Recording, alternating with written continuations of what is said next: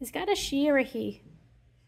Uh, God uh, in general is a they because we've got a Trinity, right?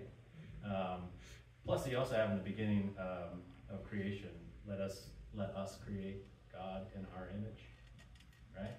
Which is, you know, different than we think of. When I think of Jesus, though, I mean, Jesus was obviously, a, you know, a human man, uh, and so I can say he when it comes to Jesus. But when I think of God, I don't think of he as like the Michelangelo kind of God uh, touching Adam like that. Even though that's we have to have ways to represent you know these concepts.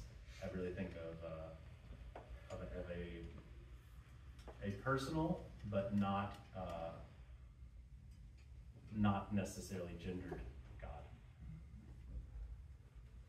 I saw an ad one time that said God the original day, and I was like, that's pretty good. That's pretty good. That's not bad. Like, well done, church.